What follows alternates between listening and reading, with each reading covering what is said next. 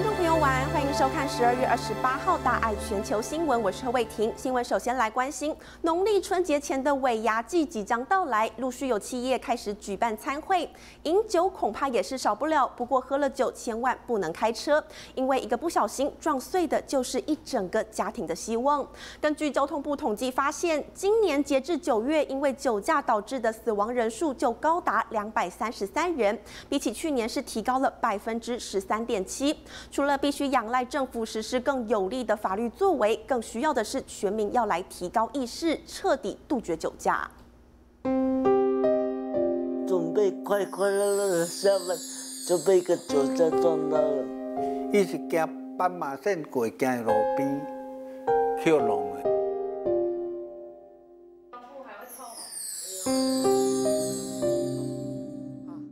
胸椎第九节，腰椎第一节。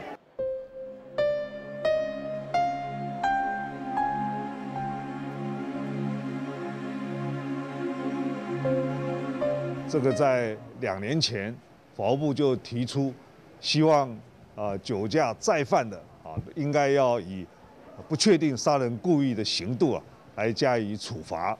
那可惜啊，在呃立法院没有修法通过。我觉得这都不是重点，而是你先告诉我们，二零一九年到现在，我们修法之后的执行成效，告诉我们这件事情，你才能够说服我们说修法。完全能够协助酒驾现况的改变。这些片段都是大家学习的。交通单位携手民间开设系列讲座，比较近两年一到九月同期，今年受伤人数略微减少，但一样高达七千多人，死亡人数更不减反增。民间团体认为背后隐藏庞大黑数。警方一年取缔件数有八万多件，依照美国的研究报告。美国人他们自称两百次，两百次酒驾，只有一次会被临检到。那我们试问，在台湾的黑数是多少？案件数至少要四倍以上。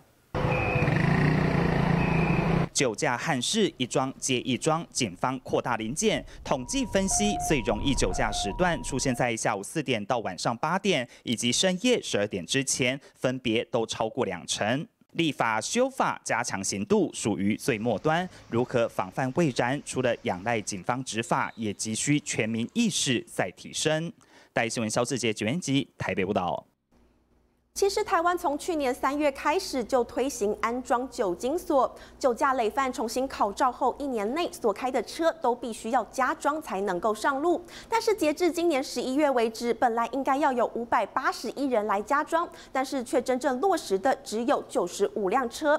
而放眼国外呢，国各国的政策对于酒驾罚则也是五花八门。日本是实施连坐法，泰国则是让酒驾者到太平间来做劳动服务。而土耳其也非常特别，是让驾驶下车用走的走到酒醒。人手一杯热红酒是欧美耶诞市集的标配，但开心畅饮后可千万不能开车上路。在美国加州，就有男子因为酒驾导致连环车祸，造成一死五伤。近日法院从重量刑，宣判二级谋杀罪。Attorney's office prosecutors say he was driving at more than 100 miles an hour on the freeway after a night of heavy drinking. His car crashed into another and blocked lanes. 这起事件若发生在新加坡，驾驶恐怕不只要坐牢、缴罚款，还得处以鞭刑。You will be putting your career, your life, and the lives of other road users on the line when you drink and drive. 至于日本，则是采取连坐法，不止驾驶本人受罚，包含贩卖酒水、提供车辆的人，甚至劝酒或同车者也统统遭殃。当然，不只有严厉罚则，为了遏制酒驾，很多国家也纷纷想出奇招。像土耳其规定，酒驾者在警方戒护下行走二十公里行酒；又或是泰国，过去曾要求驾驶到停尸间进行劳动服务。另外，法国也曾要求每位驾驶，无论汽机车，都必须自备酒测仪。但这项法案二零一三年实行以来成效不彰，详细规定一改再改，最终废除。喝酒不开车，各政府绞尽脑汁，就是为了要早日终止酒驾悲剧，确保民众用路安全。待新闻刘觉瑜编译。再来关心国内疫情发展，台湾今天没有新增本土病例和染疫死亡，不过还是有新增十九例的境外移入确诊，其中空手道代表团又新增一人确诊，累计已经有十三人染疫，而且目前确定已经有七人是感染到 Omicron 变种病毒。台湾空手道代表团到哈萨克参加亚锦赛，确染上新冠病毒。全团二十二人已经有十三人确诊，其中七人感染到 Omicron，其余还在等待基因定序结果。这十三位里面有四位是在七月打第二剂啊，十月是五月五个，十一月是两个。除了两位只有接种一剂之外，其他其实大家都还蛮符合这个规范的哈。选手培训过程都没戴口罩，不止台湾、日本、香港代表团也传出染疫，泰国更是全队都中标。运动员长时间出国训练比赛有一定风险，防疫措施势必要再加强。会请体育署这边来提供这个快筛试剂给国家代表队，他们在出国的时候可以使用。有出现疑似的症状，那就可以自我裁剪了，看是否可以提前多久可以让他们先接种。这个部分我们可能会再透过 ACIP 这边再来讨论。因为不清楚哈萨克的检疫情形，指挥中心还需要透过选手代表团还原当时状况，才能判定感染源到底来自当地，还是各国选手带有病毒在近身的接触过程造成传染。大新闻线山李建宽台北报道。数位疫苗证明今天早上八点开放下载，已经有超过三万人次来申请。想要完备社区的防护网，除了大家要戴好口罩，还需要仰赖民众尽速来接种疫苗，提升全体的保护力。不过从统计数据来看，疫苗真的打得好慢。光是第一季从十一月一号达到百分之七十三点三的人口之后，成长幅度就开始趋缓，到现在是迟迟无法突破八成。专家就担忧。这变种病毒来势汹汹，民众必须要完整接种疫苗，才能够真正的来保护自己和家人。疫情趋缓，社区充满活力，大家疫苗打好打满，生活逐步回归正常。我儿子也打了，媳妇也打了，孙女也打了，亲友都打了，他们都打过第二剂了。路上随便问，几乎都打过疫苗了。但国内数据显示，第一季疫苗覆盖率到了十二月中就卡住，上不了八成。第二季也是缓慢成长，问题到底出在哪？宗教的问题，还有一些是因为看到周边这种状况，他也觉得我没有必要打。九十几岁、一百岁打了之后。往生的，这个这个是确实是发生的，所以这个会造成这些老人他会紧张，家属更紧张。除了担心副作用，犹豫要打哪一种疫苗，专家认为本土疫情持续加零，疫情平稳是大多数民众认为不用打疫苗的主要原因。很多国家也是一样，即使先进国家打到八成多，大概也就是一个一个门槛了，要再上去是更困难的。你真的要提升的办法，就是你要积极去找他了，要请公共卫生护士跟他联络，说愿意去他家里帮他打，愿不愿意哈？你真的这么积极的话呢，你是可以继续再提高这个接种率的。尤其现在 Omicron 变种病毒传播力强，专家呼吁尽速接种完第二剂，甚至是第三剂疫苗是最重要的，才能完备社区的防护网。大新闻线川李建宽台北报道。百宝故事箱今天要带您来认识的是最近在网络上爆红的北一女全盲女孩。她在校庆的一段舞蹈影片在网络上流传，不到四天就吸引上万人关注。她叫做林丽轩，先天双眼看不见，只能感受到细微光觉。但是她没有向命运来低头，一有时间就认真念书，也相当有语言天分，努力开创自己的未来。表演前，同学协助站定位，精彩在后头。队伍中站在排头，又喊又唱又跳，有时跟不上拍子，但这可是女孩历经一个多月的练习成果，最后夺下最佳表演奖。是一年班林丽轩同学。先跟我描述动作如何做成。再带着我的手去做，因为光透过描述，我并不知道动作会是什么样子的，所以当然会有左右边不一样，会有方向跟他们不理想，反复的跳，早上练，放学也练，所以几乎他每天压力的都是很大，一直要记那个舞步。本来他们教绿轩的舞蹈不是这么复杂的，后来发现丽轩跟得上，所以他们把舞蹈就跟着做什么是一模一样的这样子。影片放上网，短短四天，感动了近三万人按赞，八千多人转分享，底下留言更是一把鼻涕一把泪。七彩的梦想是青春最好礼物，一起前行，骄傲自信。演出口号也是丽轩和同学一手包办。我本来很担心我会因为动作记不熟、动作做不好而遭到数落，然而这些事情一次也没有发生。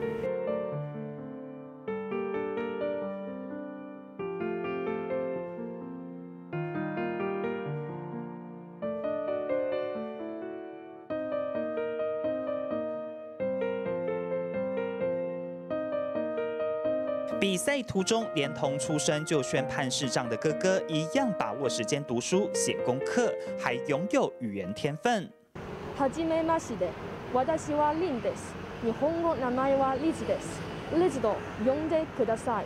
どうぞよろしくお願いします。他就很认真做他该做的，所以我觉得在班上因为成绩不是特别突出，但是他只要该他分内做的事情，他都会努力去完成。You raise me up So I can stand on mountains. You raise me up to walk on stormy seas. 同样也是为生命奋斗的，还有洪玉轩，还在念研究所时就被诊断罹患白血病，历经了波折，好不容易才配对到造血干细胞的捐赠者，如今终于恢复健康。他说想用自己的故事帮助更多病友拥有重生的机会。我从国小就想当一个老师，研究所毕业，毕业前牙龈常常会流血，身上也都是大大小小的淤青。我妈妈就觉得很不对劲，这样的状况疑似白血病。爸爸妈妈他们也也是很错愕。那妈妈就回去整理我要住院的东西。可是来的时候是姐姐，我就想说妈妈应该是承受不了她的孩子生病。我想说我一定要坚强，我一定要乐观，我不能不能再让妈妈担心。想说我们家。三姐妹应该会有机会可以配对得到，结果出来的之后没有办法成功。我觉得我妹玉轩她也是蛮坚强的。再来就是寻求实际的资料库，那那时候第一轮没有配对上，我想说我怎么这么不孝，还来不及可以回馈他们的时候，我就要跟他们说再见了。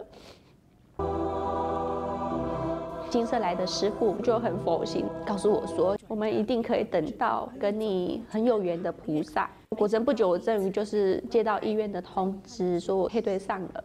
他是一个出家的修行师傅，他知道配对上的时候，他每天在做早课晚课，都会把这个功德回向给我。有一天，就妈妈就问我说：“你要不要多了解一下慈济？”在培训的时候，他很积极。下班以后，哈，赶快就整装，就跟着出出去去宣导。李家他大家分享这个代志。发病的时候，我也是不断的告诉自己，身体啊，我们要赶快好起来，我们要用健康的身体去服务更多的人，要抱着回馈的心，为社会而付出。弟子有发愿，想要分享我生命的故事。我想讲一千场，也更多的社会大众知道，救人一命，无损己身。国际消息：以色列业最近是针对叙利亚的最大港拉塔基亚港发动空袭，造成码头的货柜区大范围起火，而这已经是这个月以色列对当地的第二次攻击。暗夜里，远方一整排的货柜由导弹引燃，迅速的起火燃烧。消防人员洒水灌救也无力回天。根据当地媒体报道，除了货柜码头，这起爆炸也波及了周围的医院、商店以及住宅大楼。以色列政府这次也罕见坦诚，这是针对叙利亚境内的伊朗民兵组织所发动的攻击。根据情资显示，这些着火的货柜里头装有大批供应给极端组织的。军火武器。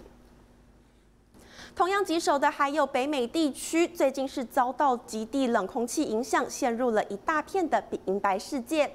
加拿大部分地区甚至测到摄氏零下五十五度低温，而美国的内华达州也出现了四十多年来十二月最大降雪，交通是一度受阻，还有乘客是被困在机场内。乘客挤在美国西雅图国际机场内，因为外面的大雪让许多航班被迫取消或延误。民众甚至冷到不想走出家门。Yeah, I'm actually gotta go to Tacoma to pick up some medicines for my dogs, but outside that, no, I'm gonna stay in and stay safe and stay warm. 极地冷空气发威，西雅图二十六号测得摄氏零下六点七度，打破七十多年来低温纪录，部分地区甚至已累积十五公分积雪。严寒的天气对街友来说更是一大威胁。I, I mean, we got a tent right down the street, only like a block and a half away, and I'm not even willing to stay in it right now. It's just so difficult. 大雪下不停，西雅图市长德肯在推文上表示，已经宣布进入紧急状态，提供民众所需物资。华盛顿州许多地方也设立紧急避难中心，提供棉被、手套、暖暖包等御寒装备。不过，疫情却让情况变得十分棘手。With COVID going on, it's hard to get people to get out of their homes and want to be in a public space with people that they don't know who they are and where they came from. So, so I have to kind of keep my numbers down. 事实上，除了西雅图，北加州因为冷空气导致多处路段关闭，内华达州更是创下四十多年来十二月最大降雪。加拿大部分地区也测得摄氏零下五十五度破纪录低温。气象局表示，极地冷空气本周还会持续发威。呼吁北美西北部地区民众小心防寒。带新闻谢条编译。北半球天寒地冻，南半球则是水深火热。巴西发生了严重洪患，阿根廷和智利则是在高温强风助长下野火窜烧。智利中部大约已经有一百二十平方公里，相当于是近台北市一半大小的土地，全都付之一炬。火舌吞噬树丛，发出吓人声响。直升机不断洒水灌救。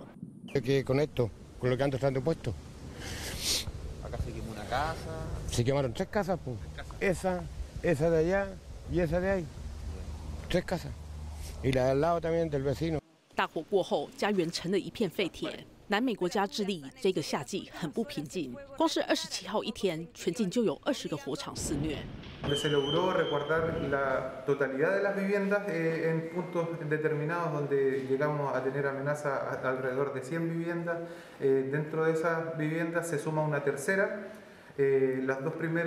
灾情最为严重的中部地区，约一百二十平方公里，相当于四成台北市，成了一片焦土。当局派出六百多名人力，十多架飞机抢救，无奈天候条件不佳，火势恐怕还会蔓延。镜头跨越安第斯山脉，来到阿根廷，纳伊湖比国家公园以原始森林、稀有物种闻名，如今却是祝融威胁步步逼近。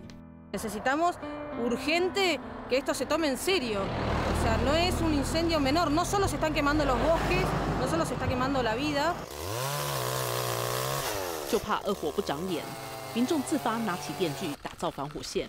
当局也关闭园区周遭道路，还整合环境、国防、内政等部门，成立特别委员会。大爱新闻邱凯文编译。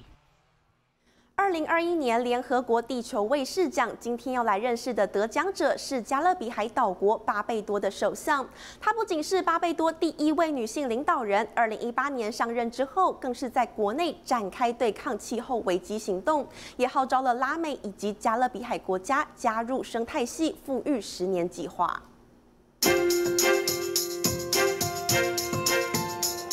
身白衣红裙，神采飞扬。巴贝多首相莫特里上任以来，致力对抗气候危机，获得联合国颁发2021年地球卫士奖。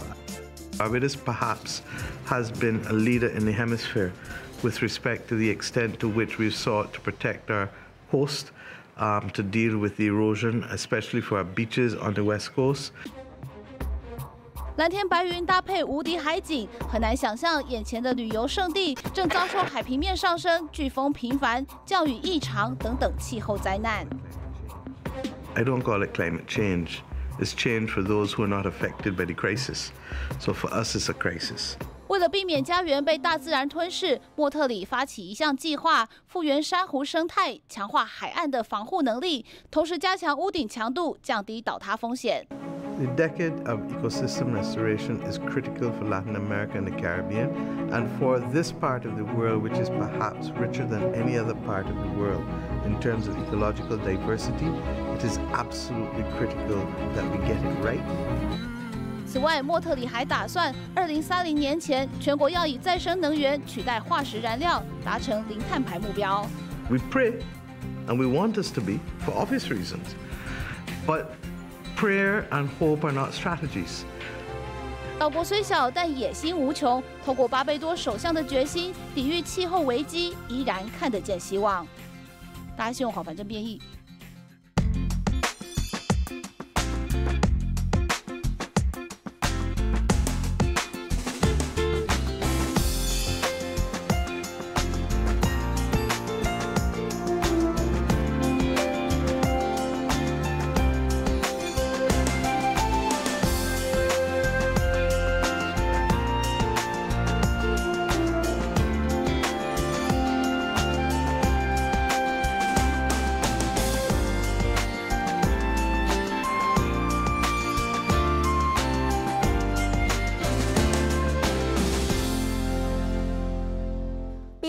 一间动物园有只马来貘宝宝刚刚诞生，扭动鼻子绕着妈妈转来转去，模样是十分逗趣可爱。新闻最后带您一起来看，感谢您的收看，祝福您阖家平安顺心，我们再会，晚安。